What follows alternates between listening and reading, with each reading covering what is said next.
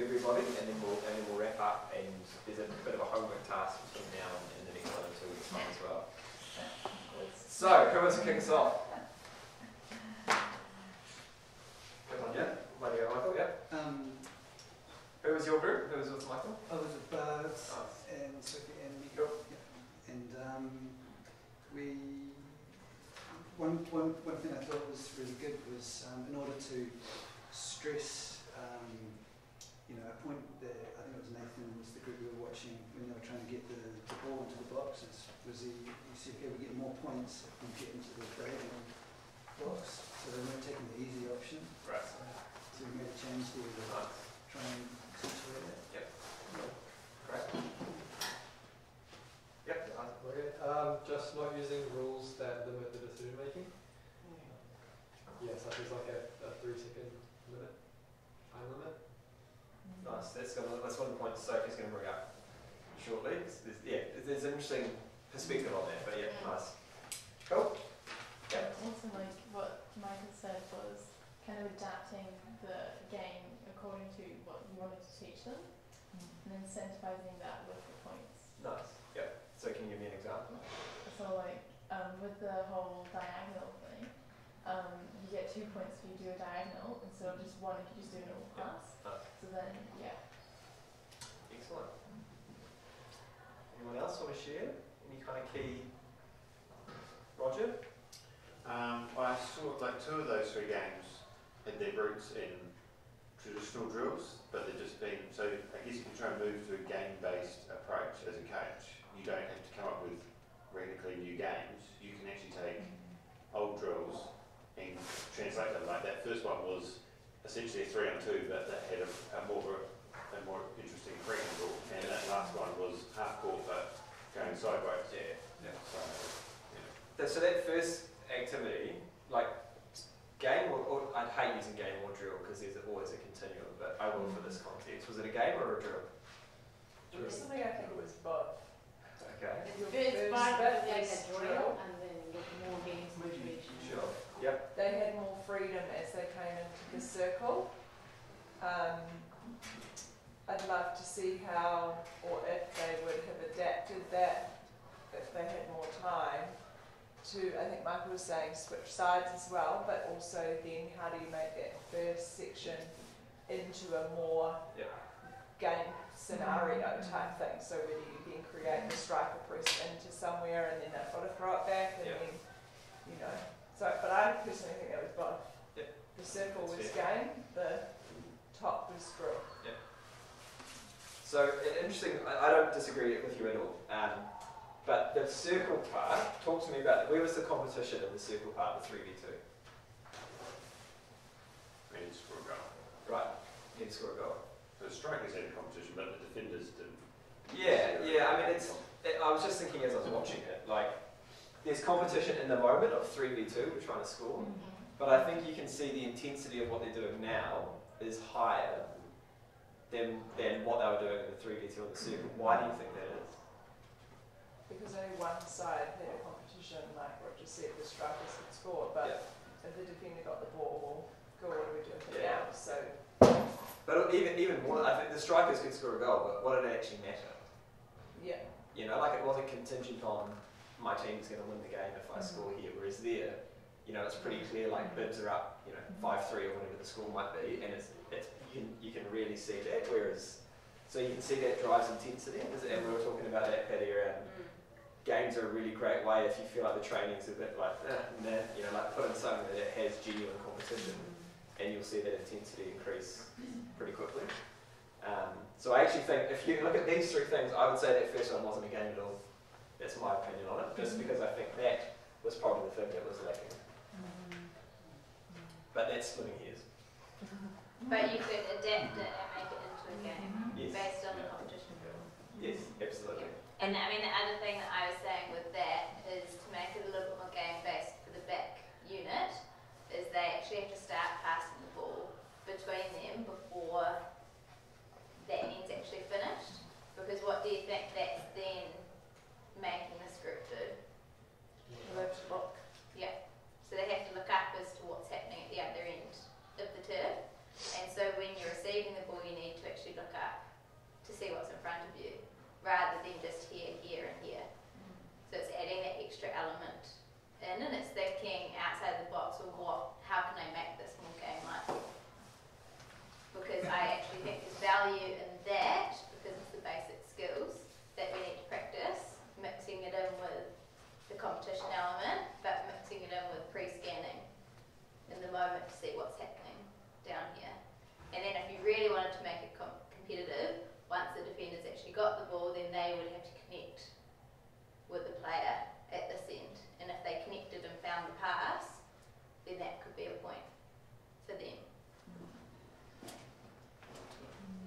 I think one point I, I know we've talked about this drill a lot, but I just I wanted to mention it just because I thought it was a really good point that my group highlighted around that um, first drill, drill game, whatever you want to call it. Everyone's got a different opinion, I'm sure. Um, but and I don't know what skill level you guys are all working within your teams, but some of um, our coaches found that they had some really really good players, and then they had some that couldn't even trap the ball. And often that's really hard in a game scenario because people, you get the dominant people and the people who just don't want to play. So what they actually quite liked about that setting is that it allowed a first half where those players who aren't so confident could actually achieve something. And they had the trap and they had the pass and they just passed it to the mm-hmm. cone and they could do that bit really well. But then those more advanced players had a component where they could have a little bit more flair and practice, you know, taking someone on and you know, you could add in the competition components. So having the two phases did kind of almost cater to the two different parts of the team. Just thought I would mention that mm. depending on what level you're working with, whether you might have a skill range. Nice. Any other comments on from, from you guys around anything we saw across any of the three activities? It is definitely sort of, we kind of covered a little bit around if the ga- if it's not quite working, then it, the, the rules just get slightly changed, or the stakes get risen slightly higher, or Yep. and that just a- adaptation as that rules pretty Yeah, yeah, totally. yeah. And that's, you know, like, a, a way I think about it is too easy or too hard for them? Because, like what we we're saying as we we're coming in, Roger, like, sometimes you've got to make it a lot bit simpler. Other times you're like, oh, actually, they're getting this a lot faster than I thought they would. How can I make this a little bit harder? Um, but the beauty, like, I always say to coaches there, you know, like, your players will never know if you just go, like I was saying to Judith, you know, sometimes I put in a game and the player does something that I didn't even think of, and I'm like, ah, bugger. like, that's ruined my game, you know? Like, so you can just be like, right, stop, new rule, and you can you adapt on the fly. Like, they have no idea that, you know, that that's happened. Or, e- equally, like, you can say, look, you guys are too good for me, like, you've broken the game already, here's a new one, There's no harm in stopping a game whenever you need to to add in something else, you know? Like, it just adds a little bit to your kind of vulnerability as a coach if you can admit that you've made a mistake or, you know, whatever it might be. I also really like how he would bring them in and ask them, what do you think? What's going on? Mm. Why would you do that? What's this? Instead of just bringing them in and saying, this isn't working, this is what you're not doing, this is, you know, you're doing this Yeah. well, whatever. Again, he's making them give him the answer and think about, well, you know, I'm not running out here, so that player continues to get the ball or whatever it is. Yeah. And the players then having to think about it by themselves. And I think that's quite important sometimes when we are coaching, that we don't be so directional on Yep. what we're wanting them to do. Which is a very interesting point because there was two different coaching styles with the three or the, the three v three game. So on this side they were asking those questions and on this side they were very directive. And I was looking at bodies like player language, Yeah. um, body language of the players, keep my words out. Um, and this group was just yeah, yeah, yeah. But this group was actually engaged in the conversation and actually thinking Yeah. about it, and they looked more enthused to actually go out and try what they just had to talk about, whereas these guys were just going out for the sake of Mm. going out for it. Mm-hmm. Does that make sense?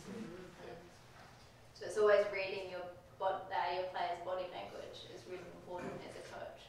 And questions, get them engaged. Trying to keep flowing with your other. Yeah, yeah. So there's a couple of questions. So in this room, if we think about the drills that we saw, and especially that first, well, games, but the first, because it's more like a drill, and the first exercise, should we say, call it? Um, does everyone have that space at training? No. No. No. No. So how could you, this is, they will take it away because we're going time, so think about how you could actually adapt that to the space that you have at training. So it's always good to go out and go, oh yeah, that was really good and I've, I've got all the space and it looks really good out there, but if it's not going to go onto the size of turf that you have for your trainings, how can you adjust it? So rather than scrap it completely, how can you change it um, for your dynamic? The other question I would put to you all um, is how could you incorporate goalies into what we're doing? So if we think about down in that corner, was there a goalie in there? No. Who? Where was the goalie? And who was with the goalie? Coach. Yeah, another coach. So do you always have a lot of coaches available? No. So how could you actually incorporate a goalie? Because actually the whole team was there, and the goalie's there, and we often create this divide. But on the fly, in an open discussion, how do you think we could create a goalie into that drill? Well, game. Yes, according to If you're going to be one of the squares, then they have to pass it to that goalie. Yep, yep. So the goalie can be in a square. How else could we You could incorporate? have the goalie moving, like he doesn't have to be in one square. Yeah. You could also have to run, Mm-hmm. can goalies run in the I think they can. Yeah, Yeah. But, you know, like he has to then be watching and tracking where the ball's going to see which square he should be getting into to then save that Yeah. ball. Mhm. Yeah. So two good suggestions. How else could you incorporate them in? You uh, maybe incentivize, this is actually what you said to us, I'm just going to give it back. That's all right. Just to use the goalie uh, for deflections and actually incentivize that, that activity, so pass, bounce off the goalie. Yeah. Yeah. And what's that then creating for the goalie? Accuracy, where he's putting the ball. Yeah, Yeah. accuracy with where he's deflecting the ball. Yeah. well. Yeah. So rather than just trying to disrupt, yes, he or she has to actually think about where they're kicking the ball. And like we said, if we're wanting to create um, give and go passes, so um, passing the ball and getting it back, you can actually create double points for that if you get it into the goalie. And we get it back from the goalie. Yeah, and get it back from the goalie. So that's always sort of think about how you can incorporate your goalie, um, because I think there's value in them being part of the games, not just in the goal. Yeah. And the other thing, just to add to it, the other question is always think about what's my purpose in this game. Am I going to be directive, or what questions do I actually need to be asking? And what's my purpose behind putting a different rule in or putting a competitive element in in terms of our outcome? Yeah, I think it's a really good point, Kat. Um, I was saying, I can't remember who I said it to, but for me, the beauty of games, particularly, I mean, all of them probably, but particularly the second one, I was like, you could use that game every training for three weeks, and it could probably have a different purpose. So don't don't feel like you just you know use a game for one week and be like, oh, I can't use that again. Like the like that second one, just rattle off like what what could you be trying to achieve? What skills could you be trying to develop in that game? Special awareness. Spatial awareness. Yep. What else? Postation, Grace. Yep. No. What else? Tackling. Tackling. long, Awesome. long pass and short pass. Cool. Great. So there's there's four right there. Yeah. So yeah, you can always like Kat's made a really good point. What's the purpose? Because the challenge for coaching, like I said um, at the start, is don't get lost in watching the athletes. That's the same challenge when you're training, when you when you're actually training your teams as well. Is, and I find it still now. You know, I get so lost in you know following the ball sometimes. I forget about actually what is this game trying to achieve? What's the purpose that we set it up for? And how can I actually watch that to make sure it's being achieved? I find that's almost like the coach's curse as we get too kind of narrow vision and what's happening with the ball and sometimes we lose focus of mm-hmm. what we're actually trying to achieve. So if you do want to bring up your point around constraints. Yeah, do I need to come on? Of course. I forgot about that. Um, oh, it was more just a question, really. I think sometimes as we um, look at drills and, and games and we start to critique them, and especially as coaches, when we're not getting our desired outcome, because half the time we're going in with a purpose, and the purpose is to do this, um, and we, it's not happening, before we start to think about the three components to a game, we start to think about adding a constraint in. So um, you're no longer allowed to have, um, you, I can't think of one off the top of my head right now. Three Um, touches. Yeah, is you put in a constraint, and it's kind of almost like your natural tendency as a coach. But my challenge for you guys is instead of, well, sorry, actually my question is, what is the what is the negative part to adding a constraint versus adding a, a rule? Can anyone tell me? In the decision making, they're not free to, yeah, Yeah, yeah. So by adding a constraint, it takes away a decision making component. Versus if you add a decision making component, you're actually taking away whatever you, you're potentially taking away what you d- don't want them doing, but they're figuring it out for themselves. Mm-hmm. You know, so instead of saying, okay, you're not allowed to pass through the middle, can we add a decision making element where it's two points for the outside, one point for the inside, and they can still go through the middle, but it's up to them to decide which way to do it. Does that make sense? Mm-hmm. Mm-hmm. And I think with that as well, it can be a progression. So depending on your team's level, you actually probably need some constraints to then go, oh yeah, well when I do only have three touches, this is what happens. Whereas if they're at a higher level and actually have that game awareness, then you go into that decision making element and it's probably working out where your team sits. Mm. And it's, it's that balance between constraints versus decision making and you, ultimately you want to get more towards the decision making side but you may need to have constraints earlier on to then allow them to make the decisions. That makes sense.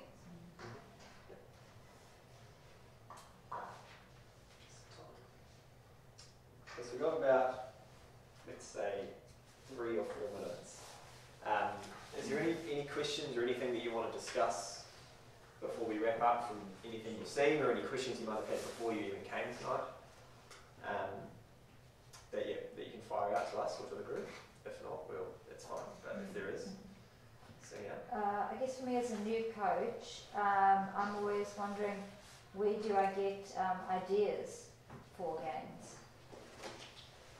Well, I think the fact but no, it, it was a point. I think Roger said something which made me think. Like, I would, um, well, it, yeah, it was your point around like a lot of what you've seen is kind of based on more traditional drills, and I think that's a really good point. Like, you you potentially have enough in your head from experience to go like, if I tweak that, could that become more of a game for me?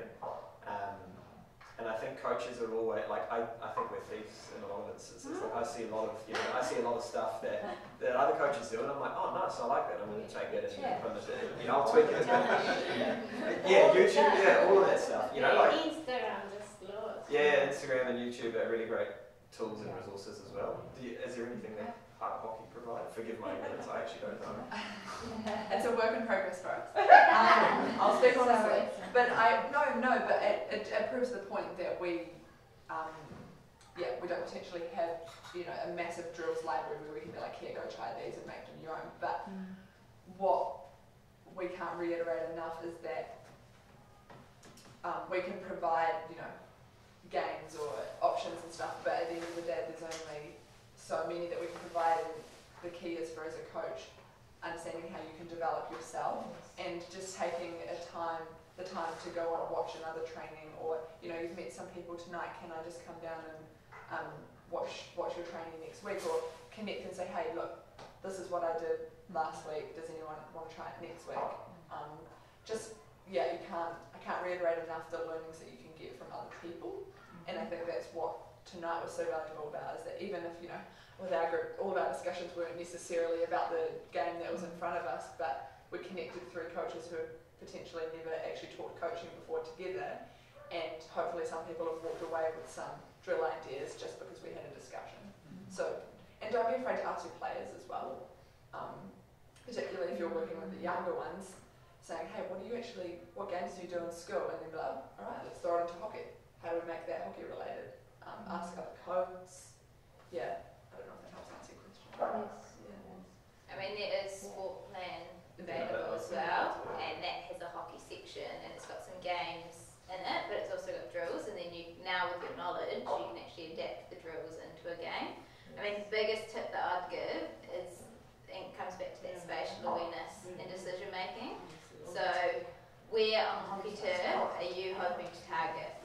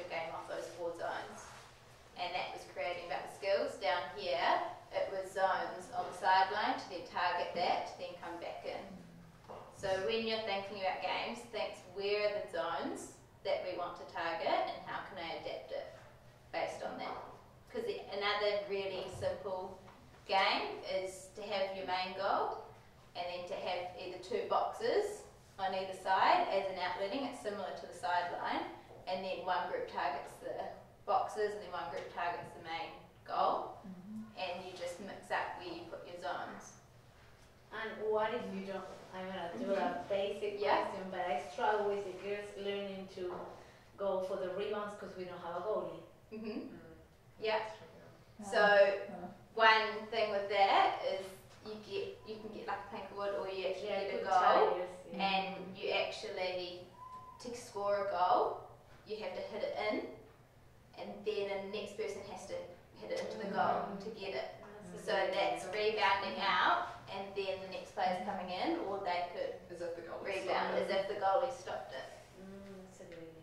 Yeah. So again, so your thing was rebounds. So you think about well, what is the action of rebound, and how can I create that same action through a game? Join our Facebook group. It's in there. Okay. Um, last last activity or last thing from me. Um, just have a chat with the person next to you, and I want you to kind of one thing that you're going to take away and try that's come from tonight. That you can, that you're going to actually I'm going to Yeah, You've got yours already, Barbs. I love it. So have a chat with the person next to you. What's one thing, the number one thing that you're going? I'm going to I'm going to try and implement that. Cool. Give you a minute. They can actually go actual second kinds that can actually use Oh, get two on the sideline. So the out,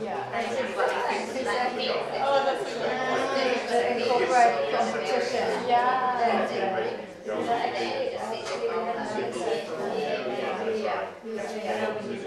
That's just what you think, like here. Oh, that's so To incorporate competition. Yeah. And, So they just see their goal line. Yeah. You divided into the three groups of four groups. Yeah, was actually what I asked, but I don't know. The front line is gone, and they just dribble two times, and that's that good. Yeah. He was having a competition to see who was oh, good, you know, and who was Yeah. the fastest. Yeah, so the thing they And I noticed that they they basically just hit a backboard, come out and hit it in the end.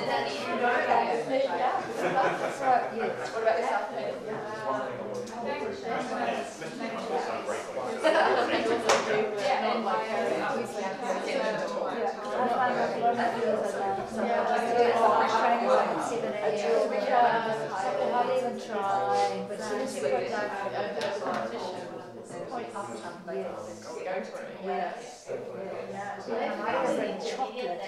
Oh, that's gonna be A winning team.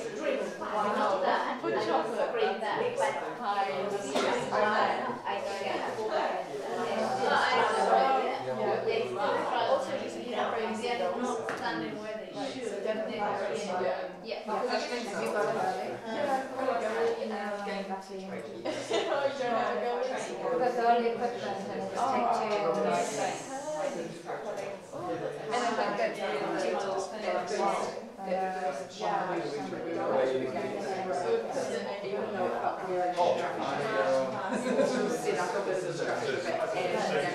though it felt really set up a bit of a structure but add down components to it feels so you'll start here and pass here and that actually doesn't have to be yeah but it's a in the box and you've got to get it out of the so there's no standing in the same Because I like I just talk and I've noticed the Yeah, now when I also have it to me, I want to always that. Yeah, yeah. Even during the drill, I'm like telling them. Yeah. And then they'll be quieter.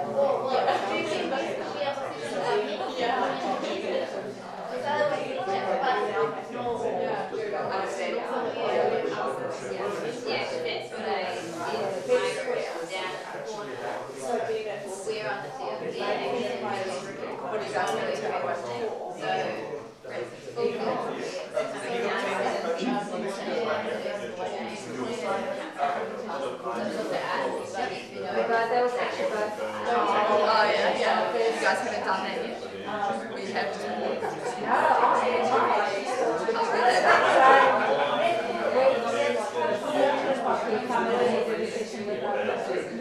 I was just saying, it's just been like, you know, five minutes and you, and you just drop off to phone, you know, and the group, the stress, you know, who's gets through it, is the winner. I think And I that just- it's really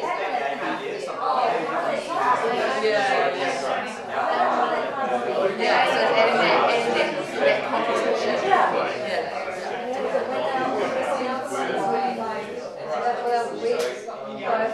It's simple, but then it's like, why did like open your eyes up, it's like, why did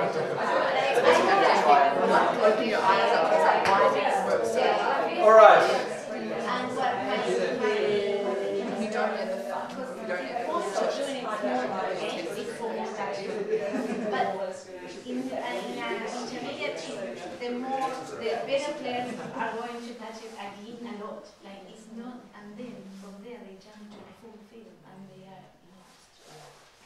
So, No. I'm just, sorry, I should have had this written. My handwriting's gone to crap, sorry. Um, okay, so I'm going to summarise and wrap up.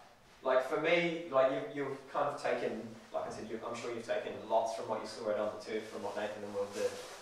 Just to wrap up the key points from our perspective, how we define the game.